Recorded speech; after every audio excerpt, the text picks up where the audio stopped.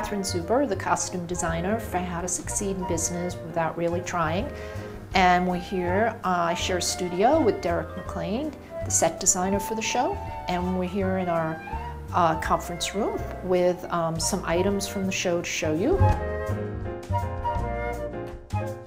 From the minute I'm hired, the first thing, of course, is to read the script and to sort of do a breakdown of the script according to the characters and uh, scenes with ensemble members to kind of determine how many people are in the scene, what are they doing, and then in a show like this, of course, what is their movement? The movement is so important. What we have here is, um, this is from the old Ivy scene, and these are the um, uh, football, the football costume that was made by Euroco Costumes. We weren't quite sure of um, exactly what type of football player we wanted to investigate, and um, Bashid felt that it should be that Biggley was remembering his youth, so it should be more uh, based in the 30s. So we did a lot of research on what went into those uniforms at that time. We had to build in, for quick change purposes, the socks, the knee pads, and everything is all built in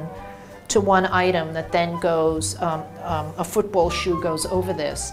But because the change is so quick, um, it just had to be quite efficient. And the great thing about having this be one unit too is that we never have to worry that their socks are going to fall down or the knee pad is going to slip. This is a pair of the men's shoes from the show, uh, which were made by T.O. Dey. And, and just like the women's shoes, they're, they're very flexible so uh, the men can point their feet. And they're also made with a, a soft like rubber heel uh, for comfort, um, whereas a traditional men's dress shoe probably would have like a wooden heel, which wouldn't work out for uh, the guys. A great uh, artist that we work with is Jeff Fender, and uh, he did all this uh, hand painting on these island girl costumes. This was white fabric that then he did um, relief and overdyed and did all these black paint, um, paint lines on it. And um, I just love uh, his work. And it's just one example of all the wonderful artists that uh, contribute so much to um, a show. We went to FIT and went through the archives, um, uh, looked at uh, magazines of the time period, and I have a collection of magazines here uh, from, from the 60s.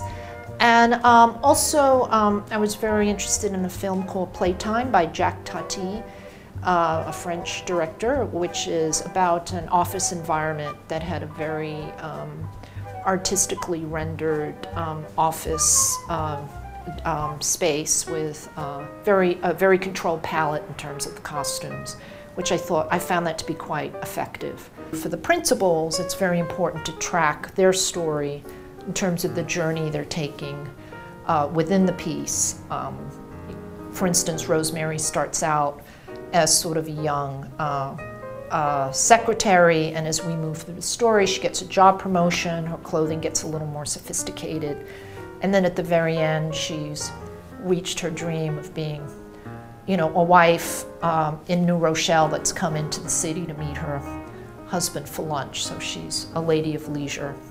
The interesting thing about the blue bow tie that um, Daniel uh, Radcliffe wears as J. Pierpont um, Finch is that uh, it was first developed by the producers and the um, artists that designed the advertising campaign as the right color um, for the visuals of the poster and of the publicity that was developed.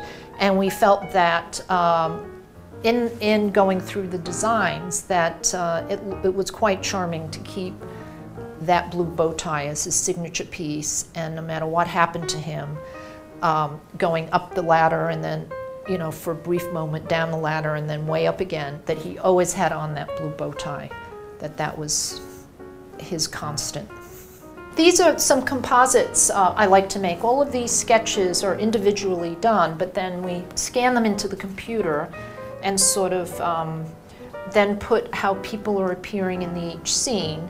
And then as we're swatching, we put little pieces of the fabrics um, over these sketches so we get sort of uh, overview of how the colors are coming together. This is an example of the original sketches that we do before they're scanned. And Uh, here we have the Island Girls and um, a Paris original.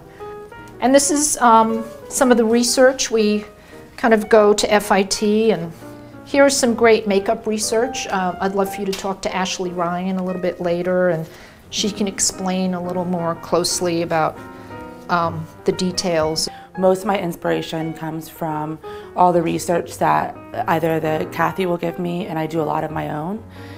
And so I worked with, for this particular show, I worked close with the clothes and what these secretaries and who they are and what they're wearing and then what did their hair look like and what did the girls look like.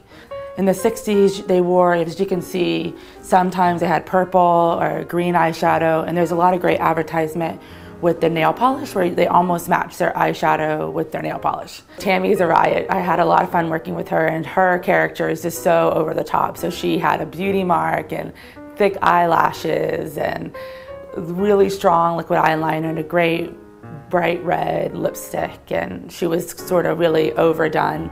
Like I think she was a lot like this but more so. Like she was just really bold and Kathy kind of let me have a lot of fun with her. Most of them in their real life don't wear a blue eyeshadow or bright red lipstick every day. So I think they have a lot of fun doing it or Tammy wouldn't put on a, a beauty mark.